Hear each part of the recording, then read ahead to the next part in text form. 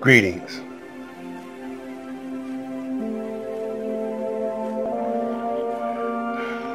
Now we're going to show you how to take control.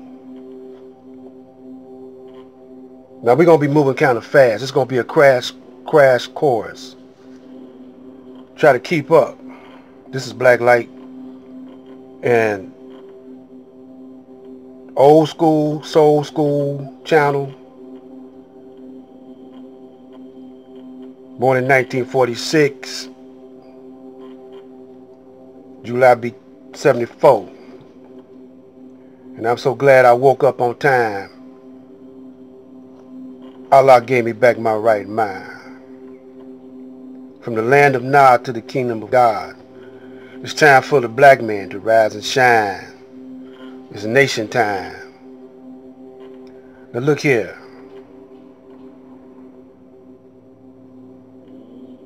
You got to get rid of all that shakiness that's in you, all that scaredness. Because a lot of y'all don't know if you're doing the right thing sometimes when you challenge authority in the system. But y'all should know how this whole thing started. Was it right when it started? Okay, let's go back. Let's ask the question, did Christopher Columbus invade uh, the Americas? Did he invade it or did he discover it? Now when you get through figuring out that one, if he invaded it, then it was an act of war. But it don't seem like he invaded it because at first he came over here and got familiar with the land and the culture. And he used the natives to show him how to survive in this part of the planet. He used the natives to show him to show him how to survive over here and where was all the resources. And when he seen that they wasn't using it to his understanding of how to use it, they were using it but not the way he wanted to use it. He said, "Well, let me show these let me show these uh, backwards people how to deal with this."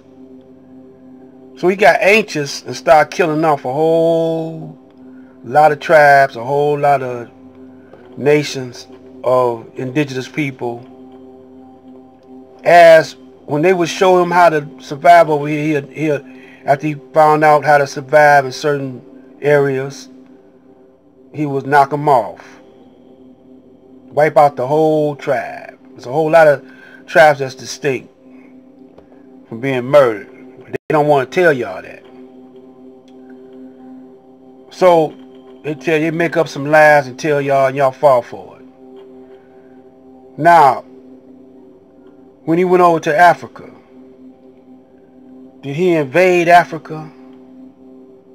See, Africa's so big and so massive that he couldn't just, with the, the little amount of uh, men he had, he had to use technology. He used technology all the time, but a different kind of technology on the African.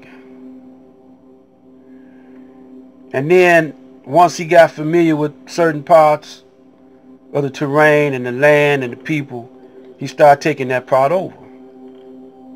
When he went to Australia, where the Aboriginal brothers and sisters were, did he invade that land or not? He invaded it. Came in trying to be friendly, cool with everybody, then he took it over. So on and so on with the islands, with uh, South America, with everywhere he went. He ran that same game. It was a chess move. And then while he was friendly, being friendly with him, he was setting up his his uh, men in key positions. You know, setting up his men in key positions. Now, he brought the black man over here to work the land because the black man was the strongest man on the planet, the wisest man on the planet because he been here the longest. Now, during the time of George Washington, he had things pretty well under control. His only hang-up was with England and Europe. They wanted a piece of the action. He didn't want to give them, give them none. So he got the, some of the Native Americans to help him fight. And he got some of the Africans to help him fight. He won his independence. But London, England went back to the drawing board and said we're going to come a different way. So the Rothschilds came with the money system, the banking system. They took over the government like that. It was so smooth, they say, well, look, let's let the people think that they got the same kind of uh, authority and government that they've been having. But really, we going to trick them. Because they, you got the poor dumb hillbilly, redneck, and then they held back the education from the black man for 400 years. So they had a 400 year uh, educational jump on us. You know, and if they catch us reading and writing, they would chop chop a tongue out, eyes out, and all that kind of stuff. Y'all know what the deal is. So they condition us to be uh, servants and flunkies and stupid. That carries over to today. And they let you think that you get uh, when you go to college, you you oh they, that's a good school. That's a they ain't teaching you nothing. to, Not the real deal. So now, do you think that this was a war crime or an invasion, uh, war tactic? Yeah. Now, how do you how do you uh, get your composure back? Y'all forget about the King Alfred plan and martial law. Y'all forget about the Constitution is no longer in effect. When the Rothschilds came with their uh, agents to the uh, Jekyll's Island and took over the uh, country, well, see, those wise Caucasians that knew what was going on, they can't tell tell the black man that the Constitution is no longer standard because they'll be giving away their power altogether. See? So around 1930, Master Farad came over here in Detroit and y'all brothers and sisters that live in Detroit, y'all got the advantage over the rest of the brothers and sisters, but y'all don't know it. You know, uh, we had won in 1967, we won. We took over the city. We took over the government and everything.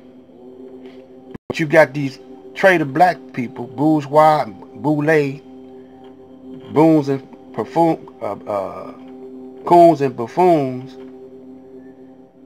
you know, that don't like they self and their people. And if you notice that the black, the, the white man gonna make sure that a portion or percentage of black people gonna get rich, wealthy, and can hang with him, rub shoulders with him. So you got your sports figures, you got your entertainers, you got your actors, your movie actors, you got certain politicians, you know, that's living good, and their job is to keep you ignorant and make you think that you're not still in captivity, you're not still a prisoner of war, that you're not still a slave. That's their job. And they use them as an example, like Oprah Winfrey, like all them, like your boy T.I., uh, Jay-Z, uh, all them, they know what time it is, but they can't reveal it or they die. Obama, all them, you know. Everybody think, think Obama was down for black people. or just because he was black. No, Obama wasn't raised like us. His mother was Caucasian. She groomed him for the, that uh, position of president. His old man was a Muslim, but he was a he he was a uh, double agent. You know, he was a double agent, and he died. I think he died uh, probably mysteriously, but you don't hear Obama talking about him that much. You know. So y'all been tricked, bamboozled. Now I want y'all to listen up.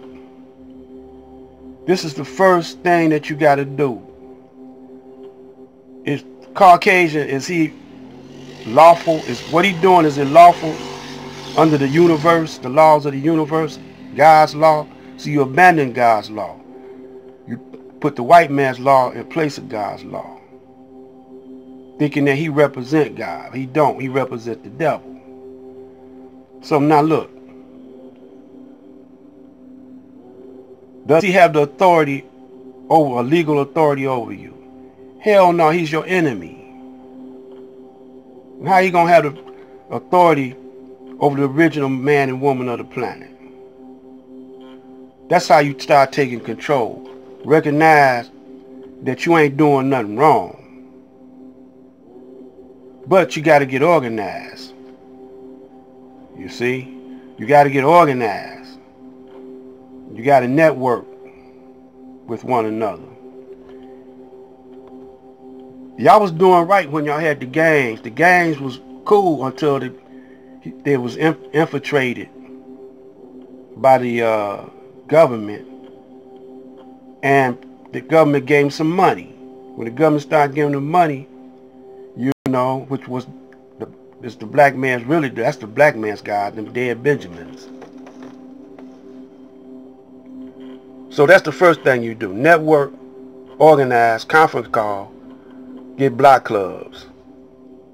Now we're going to come back. My time is up for right now. Pass this along.